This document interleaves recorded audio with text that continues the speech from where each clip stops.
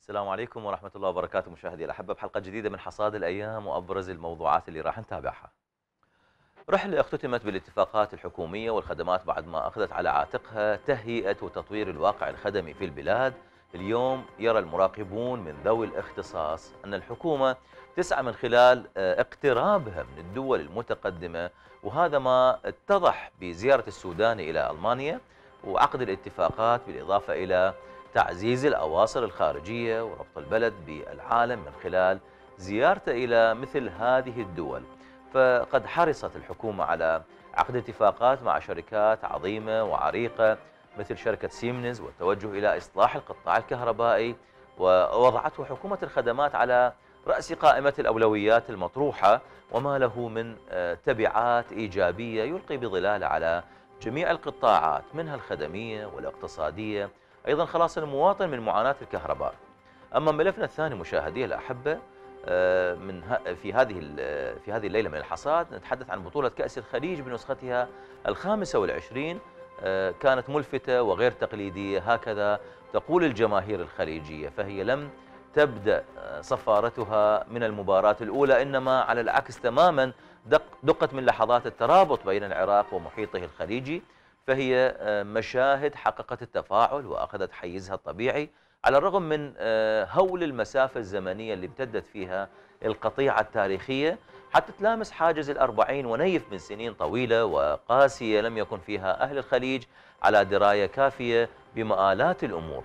هنا في بلاد الرافدين آه، حد التقارب وصل إلى مطالبة أهل الخليج بإيقاف القرعة الدورية والإبقاء على العراق كمحطة ثابتة لدورة ثانية فالمشاهد لا يمكن تجاوزها وهذه المشاهد ما نقدر نتجاوزها بسهولة والمرور عليها مرور الكرام إنما تمثل في أبعادها محطات مهمة ودلالات متعددة آه، تظهر فيها صور أصالة الشعب العراقي وحب الاحتضان. هكذا مباريات دولية تعيد اسمه مجددا في سماء هذه المحافل الكروية وغيرها. إذا مشاهدي الأحبة نبقى وياكم حتى نتابع هذين الملفين. آه، تتفضلوا بقاء ويانا ومتابعتنا. في يوم واحد اتجه رئيس الوزراء إلى ألمانيا وعاد في جعبته الكثير من الاتفاقات اللي تعمل على إصلاح الواقع الخدمي وتنمية القطاعات وفي مقدمتها آه، قطاع الكهرباء اللي يعد محور القطاعات بحسب ما يصرح الخبراء حيث يعمل القطاع الكهربائي على آه، تسيير المعامل المصانع بالتالي آه، المنفعة تشمل إنعاش الاقتصاد العراقي والقطاع الاقتصادي والخدمي وتوفير فرص عمل وغيرها. من المردودات الإيجابية. خلونا نفتح مشاهدي الأحبة هذا الملف لكن بعد نشاهد تقرير الزميل نوح الشمري. إلى أوروبا اتجهت بوصلة حكومة الخدمات بزيارة رسمية تصل أعتاب ألمانيا. عقب دعوة وجهت لرئيس مجلس الوزراء محمد السوداني إذ تضمنت هذه الزيارة بين طياتها خطط عمل مشتركة وتوطيد أواصر العلاقات الثنائية بين البلدين. بعد لقاء كبار المسؤولين في برلين وعقد الاتفاقات مع أضخم الشركات لتقديم الخدمات للبلد وعلى رأس الأولويات ملف الطاقة الكهربائية. قد يكون هنالك جدية حاليا آه، في آه، استعداد السلطة التنفيذية لاختيار الشركات الأكثر رصانة وبالتالي نضمن وجود آه، نوع من الإنتاج من الطاقة وبالتالي قد يوفر لنا الكثير من الوقت ويوفر لنا كثير من الإمكانيات المادية نوعية الشركات التي ذهبت لها السلطة التنفيذية في الاختيار والتعاقد قد يعطينا مرحلة قادمة مهيئة لتقديم الخدمات العامة. زيارة يرى السودان اختلافها عن سائر الزيارات الماضية التي نفذها المسؤولون خاصة وأن ما مضت من الزيارات لم تطبق ولم ترى النور على أرض الواقع. لكن المتخصصين تفاءلوا بما جاءت من توقيع اتفاقيات تسير بالاتجاه الصحيح كما وصفوها حيث ستعمل على تشغيل آلاف المعامل التي تفتقر إلى الكهرباء بالتالي تلقي بالمنفعة على بقية القطاعات. فإحنا كمختصين متفائلين خيرا آه، بهذا التوقيع آه، إن شاء الله ينعكس آه، ربما ليس بالمستقبل القريب جدا. لكن سينعكس إيجابيا بالمستقبل البعيد إن شاء الله. موجودة ما يقارب 800 معمل كبير ومصنع وأيضا توجد 6000 معمل صغير ومتوسط ينتظر أنه تكون هناك كهرباء لكي تنطلق ويدخل للخدمة وبالتالي ينعكس على كل مجالات الحياة. منافع اقتصادية وأخرى سياسية.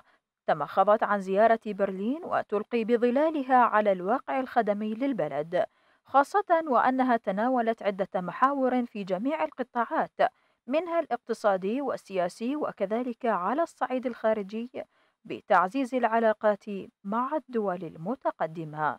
نهى الشمري الأيام الفضائية. حياكم الله مجددا مشاهدي الأحبة أرحب بضيفي الكريمين في هذا الملف الدكتور عدنان السراج رئيس المركز العراقي للتنمية الإعلامية. حياكم الله دكتور ضيفا كريما. وكذلك أرحب بضيفي الكريم عبر سكايب الشيخ محمد الدنبوس السياسي المستقل من البصرة. أهلا بكم ضيوف الكرام. نتحدث دكتور عدنان عن الحراك اللي يعني ظهر عند الحكومة منذ بدايتها استلام زمام السلطة. وبالتالي هذا التحرك الدولي وملف الكهرباء كان من ضمن أولى الأولويات والتوجه من قبل رئيس الوزراء إلى برلين ومن ثم العودة. كيف تنظر إليه؟ نعم بسم الله الرحمن الرحيم. تحية لك ولضيفك العزيز ولمشاهديك الكرام. حياكم الله. أستاذ أحمد اليوم نتكلم عن يعني حركة تكاد تكون غير مسبوقة في فترة العراق يحتاج إلى العديد من الإصلاحات، العراق يحتاج إلى نهوض في المؤسسة الاقتصادية وأيضا نهوض في كافة المؤسسات الصحية والتربوية وغيرها وهذه تحتاج إلى حركة دؤوبة. لأول مرة ولا يعني مخفي هذا الأمر على الرأي العام بأن هناك حزمة من الإنجازات تنجز في آن واحد، يعني نحن لا نقف أمام حركة واحدة إنما هناك حزمه من القرارات، حزمه من الإصلاحات وأنا في تقديري كما سماها أحد المحللين السياسيين في العراق عندما قال بانها هذه ثورة هادئة. وأنا أؤيد ذلك أقول هناك فعلا ثورة هادئة يقودها السيد السوداني بعناوين مأسسة الاقتصاد مأسسة العلاقات الخارجية مأسسة التربية وغيرها. هذا الأمر بالتأكيد بتعاون مستشارين بتعاون قوى يعني خبيرة بهذا الأمر. بالتأكيد سيحقق السيد السوداني ونحقق بالنسبة للعراق قفزة نحو عملية الوصول إلى إصلاح ما أفسده الدهر.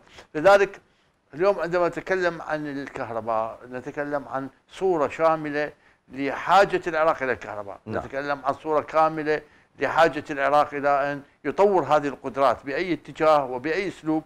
بالتأكيد هذا يحتاج لرسم مسارات يحتاج لرسم برامج. وأتوقع اليوم عندما يذهب السيد السوداني في خياراته إلى ألمانيا أعتقد كان ضمن خيارات تكاد تكون متوازنة. عندنا خيارات أوروبية بدأت بزيارة وزيرة أو رئيسة وزراء إيطاليا. وأيضا يعني المؤتمر أو الاجتماع اللي عقدته فرنسا في عنوان بغداد واحد وبغداد اثنين. واليوم نتكلم عن ألمانيا. إذا هناك توجه أوروبي وفتح الأبواب وحماية المستثمر الأوروبي من العمل إضافة هناك عندنا مسارات أخرى مسارات صينية ويمكن أن تكون هناك مسارات لدول أخرى تستطيع أن تقدم طيب. الشيء الكثير لرفع مستوى الاقتصاد العراقي نعم. وأيضا في نفس الوقت مراقبة المال العراقي طيب. وتدقيق آه. الضرائب وغيرها من هذه نقطة مهمة التي دكتور يهتم بها نعم. السيد رئيس الوزراء نعم. خلينا نعكس هذه النقاط إلى الشيخ محمد الدنبوس شيخ محمد حياك الله مجددا يتحدث الدكتور عدنان السراج عن هذه الانعكاسات أو حراك العراق نحو الصين بعد ألمانيا ودول أخرى هنا مشكلة ملف الكهرباء عندنا به حساسية واجهت الحكومات السابقة هل نذهب نحو جنرال الكتريك أم نذهب نحو سيمنز وكانت هنالك الكثير من التبعات التي أحدثت اهتزازات سياسية كبيرة. كيف تنظر إلى هذه الجزئيات؟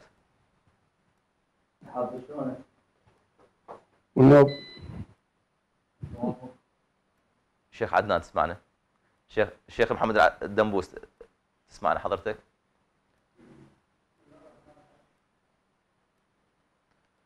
شيخ أعيد السؤال حضرتك سمعتنا؟ في هذه الأثناء اسمح لي شيخ محمد بين ما نعاود الاتصال. أنتقل إلى ضيفي الكريم وأرحب به الأستاذ مازن مازن السعد الخبير في مجال الطاقة. حياك الله أستاذ مازن. آه، ضيفا كريما في الاستوديو. نتحدث عن زيارة السودان إلى ألمانيا. بالتأكيد لها انعكاسات إيجابية على اقتصاد البلد. آه، هنا نتحدث عن استثمار شركات تأتي إلى العراق تستثمر في العراق خصوصا في هذه المشاريع غير القابلة للخسارة ألا وهو قطاع الكهرباء ومشاريعه. مشاريع الغاز تقصد؟ أهلا وسهلا بك الله. ومشاهديك الكرام. آه، حقيقة تابعنا بجل الاهتمام زيارة السيد رئيس الوزراء إلى ألمانيا والبرنامج والمؤتمر الصحفي اللي حضرته آه، أعرب عنه قبل مغادرته وتركز ركز عن نقاط مهمة جدا. تعتبر عصب الاقتصاد العراقي سواء كانت الكهرباء الطاقة أو است- استثمار الغاز المصاحب أو البحث عن شراكات استراتيجية لها مستقبل تأمن يعني مستقبل أجيالنا. آه، هسه أنا بكل أمانة أتكلم من باب كرجل متخصص في الطاقات المتجددة ورجل أعمال وأعمل في مجال الحوكمة. يا سيدي العزيز أنا دائما أقول okay نحن نذهب ناخذ تكنولوجيا نش- نشتري التكنولوجيا سواء كانت من ألمانيا أو من جنرال إلكتريك أو من أي شركة أخرى. صاحب المال اليوم هو المتفضل والعراق بفضل من الله سبحانه وتعالى. لدينا وفرة مالية علينا أن نبني بلدنا بطريقة صحيحة. نحن نملك النقد. واضح سيدي العزيز؟ نعم. والمفروض في في في آه، مفهوم البزنس بأنه إحنا اللي قاعدين رجل على رجل. مو؟ والناس تجي تعطيك العروض مالتها. فكرم من عندنا حقيقة السيد رئيس الوزراء راح. يعني يطلب من الشركات إنه تجي تعمل بالعراق بظروف يعني وفق الشفافية الصحيحة والابتعاد عن الفساد مع ضمانات أخلاقية بأنه ما ممكن إنه إحنا نعمل فقط ببيئة آه، يعني آه، قديمة بكل أمانة لكل أسف. يعني اللي صار بالعراق ضحايا إحنا اليوم حقيقة الجيل هو الضحية مالته. فعلينا أن نجدد العهد بأنه نشتري أحسن مشتريات. أنا أتوقع واجب الإخوان الموجودين اللي هم تحت رئيس الوزراء ال crew مالته الكابينة الوزارية أو الفنيين أو المستشارين علينا أن نحسب حسابات ال business الصحيحة الربح والخسارة. صدقني صدقني رحنا إلى دولة معتبرة قوية من المنطق أن نبني معها شراكات استراتيجية ولكن صدقني أنا كتاجر أتكلم معك إذا بكرة أمريكا جي اعطتني 20% فرق عن السعر وفق نفس المواصفات صدقني أنا أقول أروح وياها بكل أمانة. زين؟ نفس الشيء. الصين إذا إجت كتبت أقل من هذا أقل 10 15% أروح مع الصين. ليش؟ لأنه اليوم الكاش قليل والعراق نملكه إحنا. فلا نسيس الأمور بكل أمانة بأنه خليني أروح أمريكا في تد- تدعم شلون تبطل الكهرباء والآخرين سيمنز أو غيرها. أنا أباوع لها غير شكل كمنطق يعني business 100% والآن الاقتصاد هو اللي يدير إدارات الدولة. سيد العزيز. نعم. سيمنز لا يعو... حقيقة يعني شركة قوية جدا وتجربتها في مصر رائعة وحتى تجربتها بالعراق في زمن السيد المالكي من اشتروا الم... آه، رؤوس التوليد حقيقة يعني زين التوربينات وصارت من خلال شركات أنجحت عندنا بالرميلة موجودة في أكثر من مكان أعتقد في ميسان موجودة سيمنز مو أقل من 5000 7000 ميجا دخلت إلى الخدمة ونفس الشيء مثلها في جنرال إلكتريك. فيا سيد العزيز نحن علينا أن نحسن ال business model الصحيح اللي إحنا نقدر نشتغل به. ونستغل اندفاع السيد رئيس الوزراء والإقبال العالمي الكبير على سوق العراق الكل تريد تدخل إلى العراق نعم. نعم. وتشتغل معاه بما فيهم علينا الآن أكو مشكلة بالغاز يا سيد العزيز. والعراق عنده غاز والمفروض نصعد بالنفط إلى 10 ملايين برميل باليوم. هذا يعني لدينا غاز مصاحب عدا الغاز الحر. نحتاج شركات تجي تست- تستثمر بمبلغ قصدي بقوانين عادلة.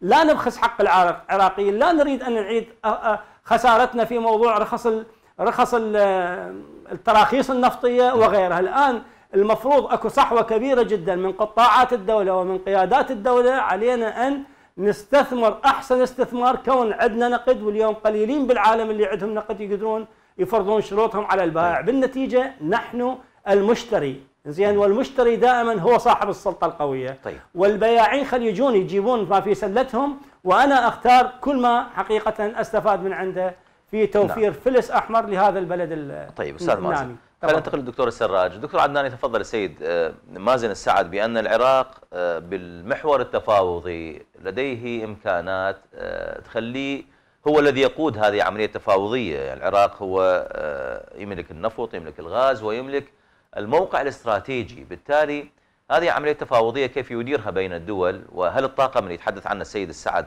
آه، مت- مؤهل في العراق؟ نعم، هذا الكلام صحيح من الناحية الاقتصادية. بالتأكيد اليوم آه، الخيارات الاقتصادية تعتمد على الإمكانيات المادية وتعتمد على المال الموجود والقدرة على آه، أن تعقد صفقات في غاية من الشفافية والوضوح مع شركات كبيرة منتجة ولديها باع طويل في العمل آه، الاقتصادي، لكن أيضا في نفس الوقت علينا أن ننظر إلى أمور أخرى، لعل الأخ السعد آه، يعني هو الرجل تكلم بصراحة، قال أنا تاجر وأنظر الأمور من خلال ال business، أنا أقول ال business وحده لا يكفي في العراق لأنه كما علمنا أن اليوم عندما دخلت الولايات المتحدة الأمريكية واحتلت العراق وأيضا كان هناك عداء من قبل دول الخليج إلى العراق أصبحت البيئة غير آمنة. أي بمعنى لا زال الجميع يعني حتى كرة القدم تأجلت دورة خليجي بعنوان البيئة الغير آمنة. المستثمرون هربوا من العراق بعنوان البيئة الغير آمنة. وهذا المعنى البيئة الغير آمنة أصبحت شمولية وأصبحت آه، يعني مع كل سنة تمارس بنفس القوة وبنفس الكمية مع أنه الفارق كبير في الأمن فارق كبير في أن الدولة تقوم بحماية الشركات والمؤسسات. ما حصل في التظاهرات ودفع إلى يعني مثل ما يقول الاعتداء على شركات النفط وأيضا اعتداء على خبراء النفط. هذا كله كان مدفوع من قبل آه، قوى آه، قوى الشر التي لا تريد للعراق خيرا. بالتأكيد هذه أنطت إشارات سلبية على البيئة الغير آمنة. هذا موضوع. الموضوع الآخر هو الموضوع السياسي. اليوم العراق يلعب دور. وإلا أنا أسأل السؤال وأسأل أيضا الأخ الخبير السيد سعد وهو يعلم ذلك. هل من المعقول إنه العراق لا يستطيع اترك الفساد؟ خلي هذا موضوع يعني يمكن أن يحسب له حساب. ولكن هل من المعقول أن العراق لا يستطيع أن يتغلب على أزمة الكهرباء بهذه الصورة مهما كان حجم الفساد؟ لا أعتقد إنه حتى لو ربع ما تم الصرف يمكن أن نعم. ينجز كهرباء. لكن الولايات المتحدة الأمريكية سياسيا طبعا أتكلم الآن آه، الولايات المتحدة الأمريكية تريد دائما أن تجعل هناك عصا غليظة تستخدمها متى ما تريد. داعش آه، قاعدة كهرباء هذا معنى نعم. واضح عندنا بالسياسة واضح هذا التصرف اللي نسميه إحنا الحرب الناعمة والحرب الناعمة حرب كتب بها آه، بريزنسكي وكتب بها آه، يعني العديد كتبوا عن هذه المسألة اللي هي تتعلق بالحرب الناعمة اللي أساسها هو الكهرباء والنفط طيب. والحرب الاقتصادية فإذا هذا الخليط كان كله يمارس على العراق مع الأسف الشديد اليوم السيد السوداني في تقديري هذه الحركة في مأسسة العلاقات الخارجية والاستفادة من الوضع الموجود في الحرب الأوكرانية الروسية التي جعلت اليوم أوروبا آه، تستطيع أن تضغط على الولايات المتحدة الأمريكية دون منافسة لأنه علمنا سابقا أنه عندما بدأ السيد عادل عبد المهدي بالتفاوض مع سيمنس كان هناك جنرال إلكتريك موجودة وكانت نعم. تش أشهرت إفلاس على وشك أن تشهر إفلاسها وذلك دخلت الولايات المتحدة الأمريكية بقوة من أجل جنرال إلكتريك ضد سيمنس وهذا كان واضح في تصريحات آه، المستشارة الألمانية نعم. عندما أشارت بوضوح إلى هذا الصراع الموجود بين أمريكا وألمانيا على هذا الآن تغيرت الظروف الظروف أصبحت آه، الخارجية والداخلية تغيراتها كبيرة وأيضا الوضع الداخلي في نعم. العراق أصبح متغيراته كبيرة نعم هناك وفره ماليه نعم هناك صعود في أسعار النفط ولكن أيضا في نفس الوقت العراق في حاجة إلى أن يبدأ بسياسة هادئة وهذا اعتقد السيد السوداني قد بدأها من أجل أن نوفر البيئة الآمنة وهي موجودة والحمد لله. وأيضا نوفر الحالة السياسية والاستفادة من الحرب الروسية الأوكرانية من أجل أن نكسب الروس الأوروبيين إلى جانبنا. وهذا ما يحصل لأنه انت اليوم إذا تثير قضية الصين ستثير حساسية أمريكا. والآن أنا أقول لك بكل صراحة السيد السوداني خطأ خطوة تكاد تكون مهمة وخطوة متقدمة.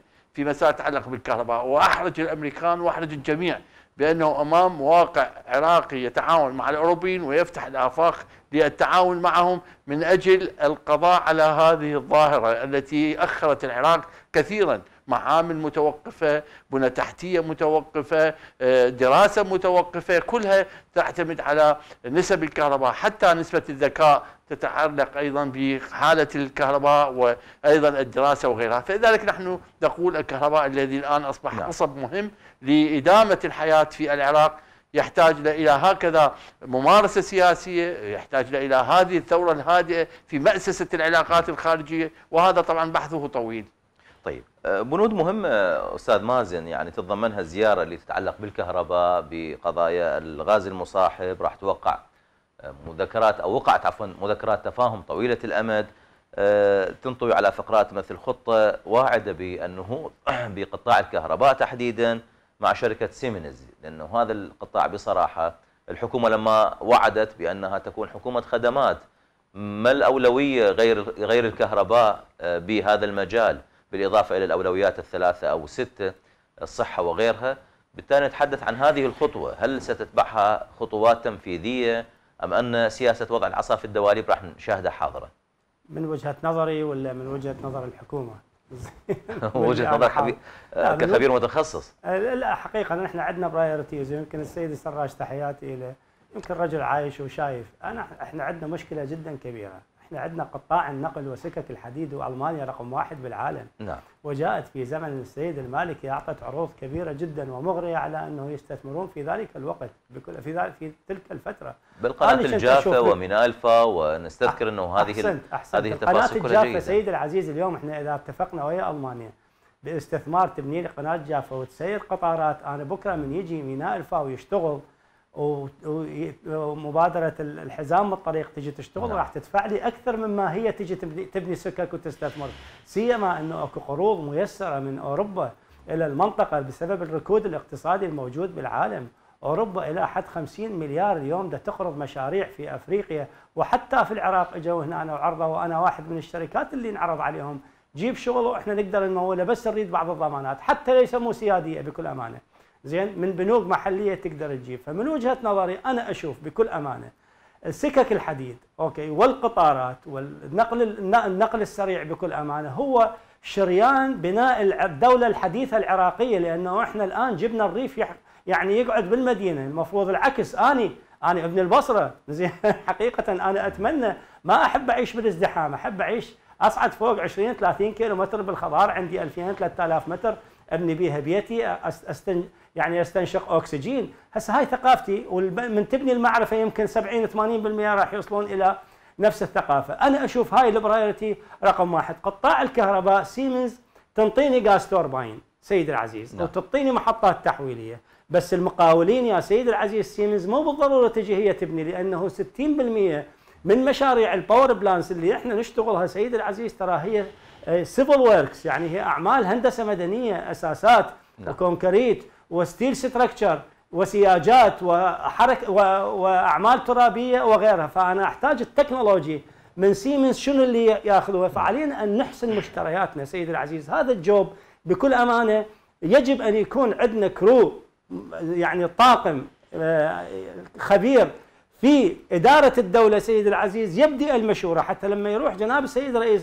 رئيس الوزراء في package معينة عنده معلومات صحيحة أساسها الربح والخسارة أساسها ال figures ال performance figures نسميها. يعني أسس الإنتاج اللي اللي أنت مؤشرات الإنتاج اللي أنت تشتغل بها فالدولة حقيقة تش- تشعر أكو مشكلة كبيرة بالطاقة. وأنا كقطاع خاص أقول ليس هنالك أي مشكلة بالطاقة. إذا ما أحسننا إدارة الملف إذا ما أخلنا خلينا اقتصادنا التشاركي شريك ما بين القطاع الخاص وما بين الحكومة ليس شراكة القطاع الخاص بالموديل اللي إجت به شركات تاخذ ال combined cycle وت charge الدولة على اللي يطلع من الكهرباء مو على ال milestone نسميه أو ال destination اللي يوصل إلى إلى البيت. ت charge أدفع له فلوس من نفس المحطة من يطلع.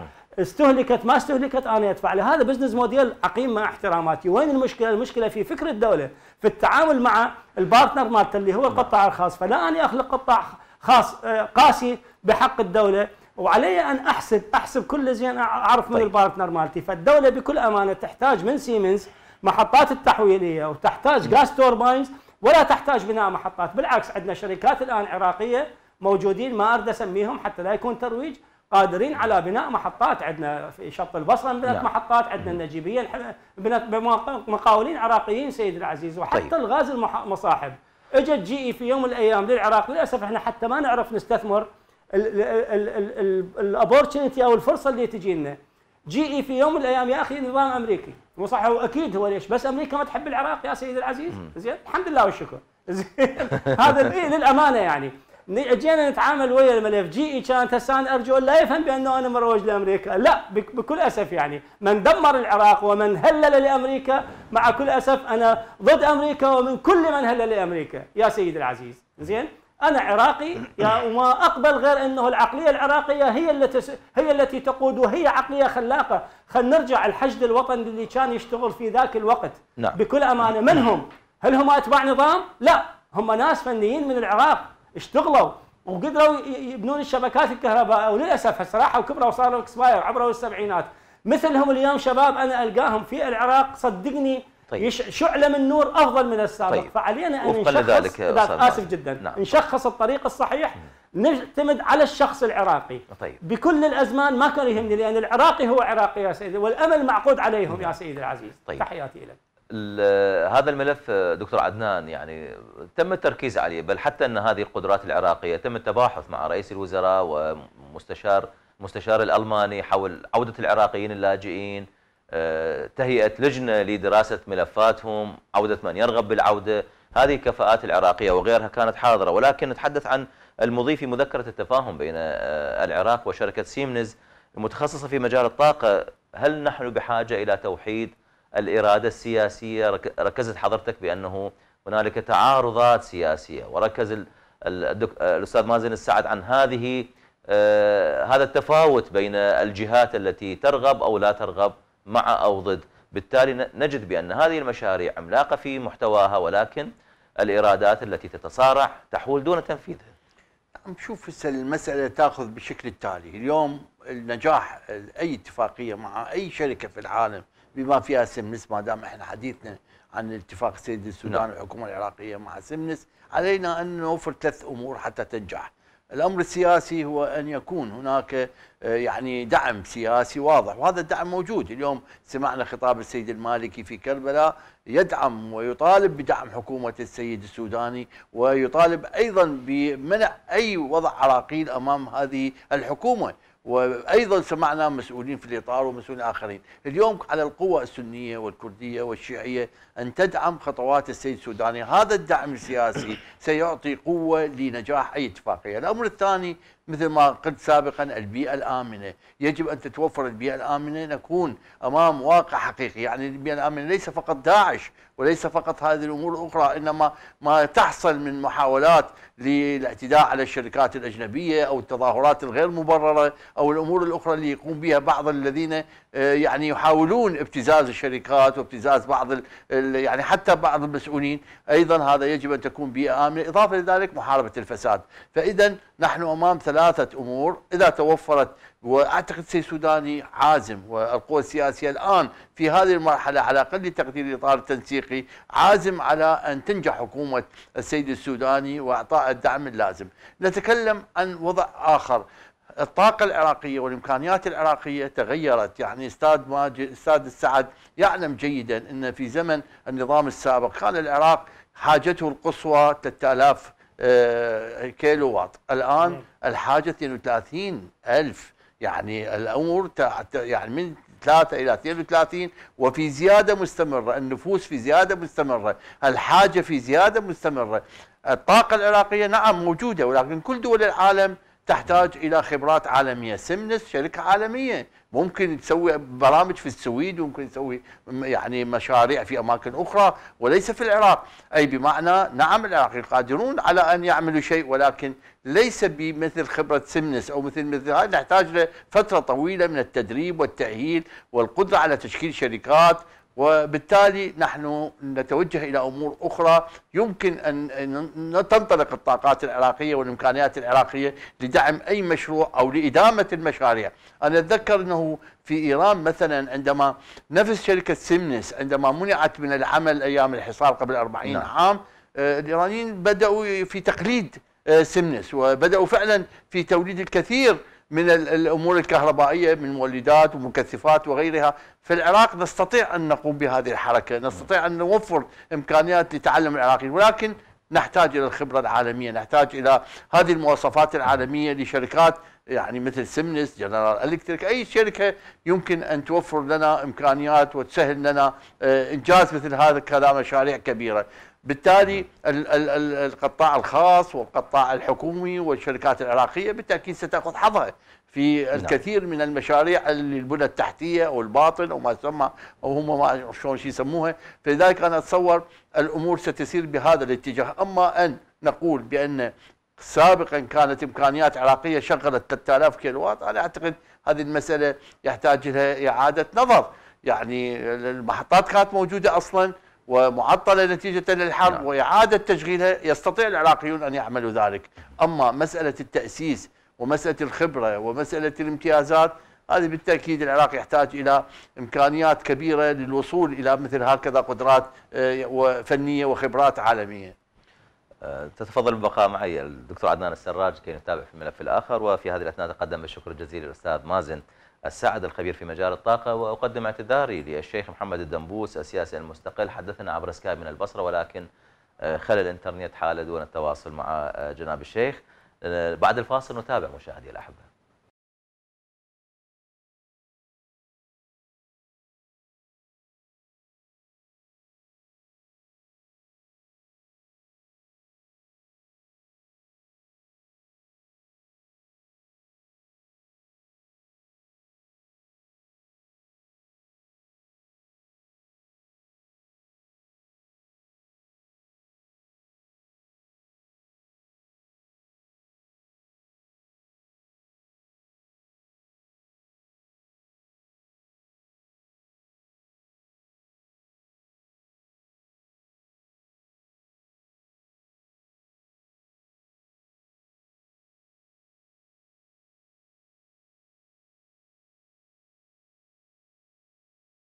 مجددا حياكم الله. وجدد ترحاب بحضرتك الدكتور عدنان السراج رئيس المركز العراقي للتنمية الإعلامية. نتحدث عن خليج 25 هذه العلامات الفارقة. كثير في الحلقات الماضية تحدثنا عن الجانب التنظيمي للبطولة ولكن ما أعتقد كان الجانب آه، التنظيمي الشعبي لهذه البطولة كان قد آه، نظم سابقا. يعني ما أتصور ال- الحكومة نطت دعم للمواطنين ودقت الباب عليهم هاكم خاف يجيكم خليجي اطبخوا له وضيفوه. كانت هذه ردود الأفعال الشعبية آه، عامل مضاف وقيمة مضافة إلى هذا الخليجي. كيف تنظر إليها دكتور؟ أستاذ أحمد يعني خليجي 25 في البصرة فد رسائل هائلة وكبيرة لحد الآن يعني ضيوف الخليجيين ما يستوعبوها. بصراحة اليوم يعني استقبلهم رئيس الوزراء استقبل الوفود الخليجية في بغداد وأقام لهم وجبة غداء وقعدوا يتكلمون عن الانبهار. يعني هذا بين قوسين يتكلمون عن الانبهار لأن هذول الخليجيين اللي جو شايفين 24 خليجي وشايفين الجمهور وشايفين الناس وشايفين الاستقبال. ما حصل عندهم مثل هكذا استقبال ما حصل عندهم مثل هكذا جمهور.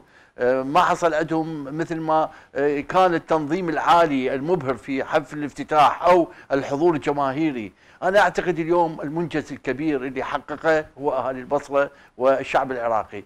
آه، يعني جمهورنا اللي انت تسميه هذا الجمهور العراقي البصري وغير البصري حقيقة حقق فد يعني نوع من التفاعل أعطى رسائل إيجابية. اولا أعطى رسائل إيجابية أن العراق آه، لا يريد شرا بالآخرين. العراق بلد السلم بلد السلام بلد المحبة بلد التسامح. يعني نسوا كل شيء في لحظة ما وجمعت هذه النفوس الرياضة. شوف هذه هذه الحالة السامية. أنا أقول لك بصراحة أنا لا أتكلم لأنه إحنا عراقيين وكذا والله.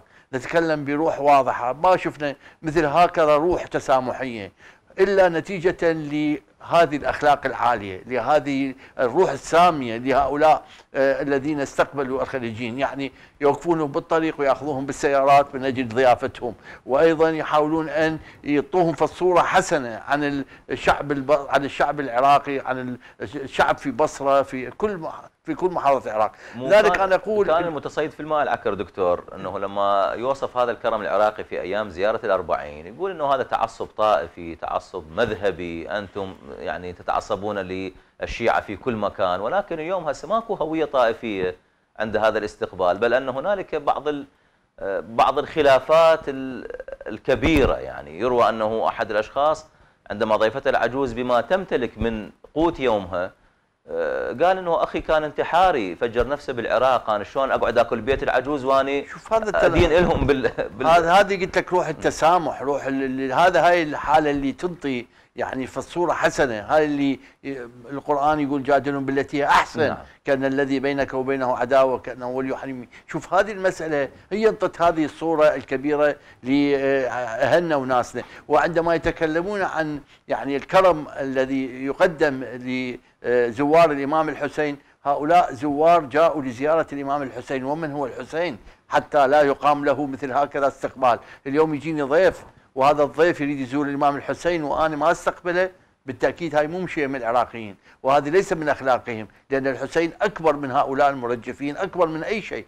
ما يحصل من العراقيين كل عراقي صغير كبير فقير غني لا يستطيع أن يقف مكتوف الأيدي أمام زائر نعم. للحسين أمام أي إنسان يزور الإمام الحسين عليه أفضل الصلاة والسلام. لذلك نعطي هذه الصورة. أما في البصرة بالضيافة هي ضيافة الكرم العراقي الكرم العراقي الذي مبعثه بأننا نريد أن نمد أيادينا البيضاء إلى أشقائنا إلى أخواننا العرب. عليهم أن يتذكروا كثيرا بأنهم قد وقفوا ضد مسيرتنا قد, قد أشاعوا الفوضى في البلد قد نعم. ساهموا في عملية عدم الاستقرار آه، في البلد بما أخر على الكثير من البنى التحتية بناء البنى التحتية وغيرها والتدخل في السياسة والإعلام. هذه صورة إيجابية. يعني شوف إذاعاتهم الصفراء شوف. تلفزيوناتهم شوف محطاتهم التلفزيونية تبث السموم 24 ساعة في لحظة ما شوف البصراوي وشوف العراقي وشوف شلون استقبل السعودي والكويتي واليمني وكل الأشقاء بهذه الروح الكبيرة هذا ترى مقياس مو سهل لا يمكن أن تقيسه إلا بعنوان عظمة هذا الشعب بالتأكيد. وقوة هذا الشعب في أن نعم. ينتج ما, ما يمكن يسميه داخله الحقيقي جوهره الحقيقي نعم. لذلك أنا أتصور علينا أن نتعامل بكل شفافية مع هذه الظاهرة هذه ظاهرة مبهرة هذه ظاهرة كبيرة هذه ظاهرة يجب أن نعممها على أجيالنا لأن إحنا أقول لك يا أستاذ أحمد أقول لك بصراحة نعم. نحتاج إلى هكذا ضخ نحتاج إلى هكذا سمو أخلاقي، اليوم أنا عجبتني ولو هاي مرة ثانية عجبتني كلمة السيد المالكي في في كربلاء.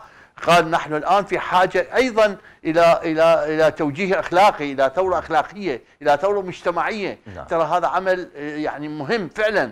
هذه نعم. الإشارات في بصرة أعتقد نستطيع أن نستثمرها بهذا الاتجاه. التنشئه الاجتماعية تبدأ من الشباب. وبالتالي الشباب يتأثر بهذه فعلا القوى تبدأ الناعمة. بالتربية، يعني نعم. كل دول العالم أستاذ أحمد تعلم ماليزيا وفنزويلا. كلها نشأت واليابان نشأوا بال نعم. بالتربية. طيب. دكتور اسمح لي ننتقل إلى السيد علي البدران الصحفي الرياضي من البصرة. أحييك تحية طيبه سيد علي. تنضم معي عبر سكايب. نتحدث عن آه، هذا الشعور اللي أصبح الشعور الشعبي عدا الجانب التنظيمي والأمور التي كانت تنظم منذ زمن طويل. اليوم الشعب أو شعوب المنطقة بدأت تتفاعل بطريقة غير مسبوقة. يعني لربما المشجع الخليجي ما قام يجي على مود حضور المباراة ولكن قام يجي في سبيل أنه يشوف آه، يتعرف على الجمهور العراقي يتعرف على أهل البصرة على كرمهم وعلى طيب أخلاقهم. بالتالي كانت هنالك مطالبات بأن يكون آه، خليجي 26 وغيره آه، بطبيعة الحال يكون في البصرة دون دون الدخول في القرعة كيف تنظر إلى هذه النتائج؟ سيد بدران.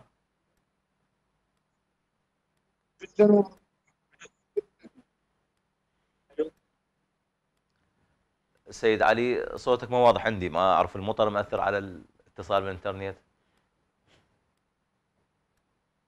اليوم حظا من اسمع لا تسمعني لا تسمعني بشكل واضح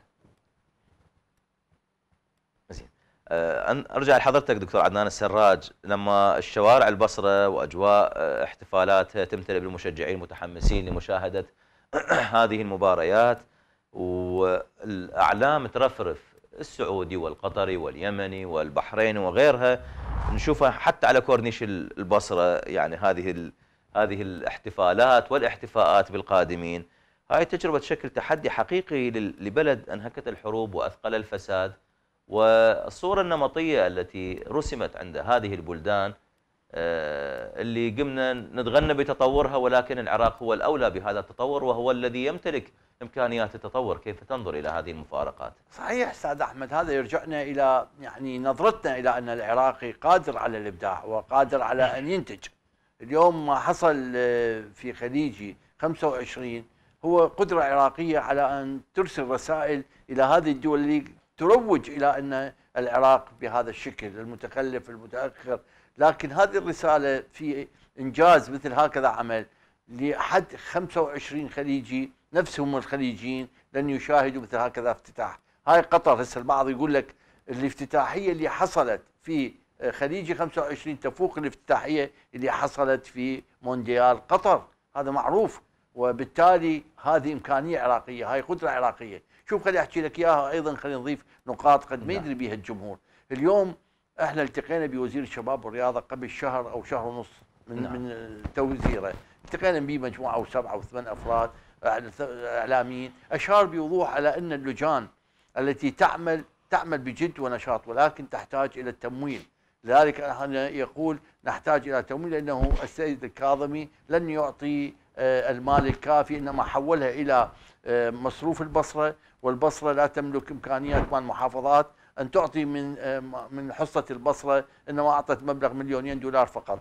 السيد السوداني عندما عرضت عليه هذه القضية حول وخصص 33 مليار دينار من أجل إنجاح هذه الدورة، هذا عامل لن يتكلم ولن يتطرق عليه أحد، ذلك كانت خلال شهر ونص العراقيون أنجزوا ما ما ما شاهدناه، خلال شهر ونص أقل من شهر ونص تم فعلا تفعيل اللجان وتفعيل الاتفاق مع الشركات وكل هذه الأمور التي الآن نشاهدها من مسائل إعداد واستقبال وأمور أخرى، نعم كانت هناك استعدادات ولكن لن ترتقي إلى مستوى مثل ما نحن الآن آه، شاهدناه بخليجي 25 نقول اليوم هذا الانطباع علينا أن نستثمره أستاذ أحمد. نعم. علينا أن نستثمر هذا الانطباع. سياسيا على الخارجية العراقية أن تقوم بعمليات لنقل هذه الصورة واستغلال ما حصل يعني سياسيا. يقول إنه تذهب إلى دول الخليج والعالم حتى يشوفون طبيعة الشعب العراقي. الأمر الثاني رياضيا علينا أن نعكس بأن الجمهور العراقي هذا الجمهور العراقي الذي وصفه العديد بأنه فوضوي نعم. بأنه يتقاتل بأنه يتظاهر بأنه يوظ- يوقف المدارس الجامعات. هذا الجمهور العراقي اليوم الراقي الذي يستقبل الضيوف ويحضر هذه ال- ال- ال- ال- ال- المباريات بهذه الكثافة مو فقط لعبة العراق. شوف كل دول الخليج من تصير لعبات في نفس الدول ما تجد هكذا جمهور. نعم. اليوم حتى اللعبات اللي الجمهور يشجع فريقه يعني ما طبعا ما, ما حصلت بالضبط ما يعني. حصلت إنه جمهور يشجع اللعب النظيف. أخرى. نعم ما شفنا جمهور يشجع اللعب النظيف ويدي يعني يعني أكو أمور قصص عديدة إحنا ما نقدر نستوعبها في خمس دقائق أو عشر دقائق، أنا أقول يجب استثمار هذا الوضع. ويجب أيضا في نفس الوقت أيضا نوجه رسائل إلى الداخل إلى داخل العراق عن هذا التصرف الحضاري اللي قام به اهالي البصرة والجمهور العراقي آه، في مباريات خليجي 25 طيب دكتور هنا أيضا الوضع السياسي وانعكاساته على خليج 25 آه، زيادة الموثوقية بين الدول في تنفيذ المشاريع داخل العراق أشرت حضرتك إلى الجمهور. خلينا نحول كلمة الجمهور إلى أيدي عاملة إلى آه، فنيين إلى مهندسين إلى منفذين. بالتالي المشاريع اللي من الممكن أن تدخل شركات استثماريه العراق هل تعتمد في آه، على أيدي عاملة عراقية خالصة؟ آه، بهذه الحالة نتحدث عن الاقتصاد والسياسة في آن واحد. بالتأكيد أستاذ أحمد اليوم ال- ال- هذا الخليج اللي حصل وهذا الوضع الأمني ال- المتطور والتنظيم الراقي وهذا الحضور والاستعدادات والاحتفالات هذا يشجع المستثمرين يشجعهم على إن الوضع بهذا الشكل بهذا الكم بهذه ال- الأعداد الهائلة بهذا التنظيم. هذا بمعنى أن العراق مستعد على أن يستقبل المستثمرين وبالتأكيد ستكون ال- ال- ال- الجهات التي تعمل على أن تجعل الاستثمار طارد من البلد. بالتأكيد هؤلاء ينظرون العكس أنه اليوم أكو استعدادات عراقية. الأمر الآخر الشركات الأجنبية كل ما تأتي للعراق بالتأكيد العراق اتفاقا يدرب الأفراد العراقيين على تبوء هكذا مناصب اليوم إذا العراقي فعلا استطاع أن يستلم قضية فنية قضية نعم. صناعية قضية اقتصادية بالتأكيد العراق يعتبر من الشعوب الذكية وبالتالي إذا توفر له الإمكانيات المادية وتوفر له الإمكانيات المعنوية بالتأكيد سيبدع العراقيين وسينتجوا وبالتأكيد اليوم عندنا الاتفاقات مع كل الشركات العالمية أنه تقوم بعمليات تدريب وتشغيل العراقيين. كل ما توسعت رقعة الاستثمار كل ما توسعت رقعة ال- البناء والإنتاج بالتأكيد العراقيين سيكون هم المستفيد الأول. نعم أشكرك شكرا جزيلا دكتور عدنان السراج رئيس مركز العراق للتنميه الإعلامية اثريه الحوار في ملفين. وأعتذر للسيد علي البدران الصحفي الرياضي حدثنا عبر سكاي من البصرة لكن سوء الاتصال حاله دون آه، اثراء الحديث مع السيد البدران. آه، شكري موصول لكم مشاهدي الأحبة على حسن المتابعة في أمان الله.